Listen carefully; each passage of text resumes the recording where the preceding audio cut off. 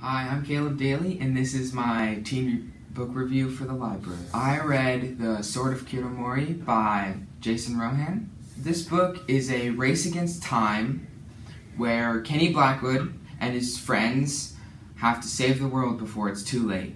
I got to learn about Japanese pronunciations, uh, how the numbers work, and their culture.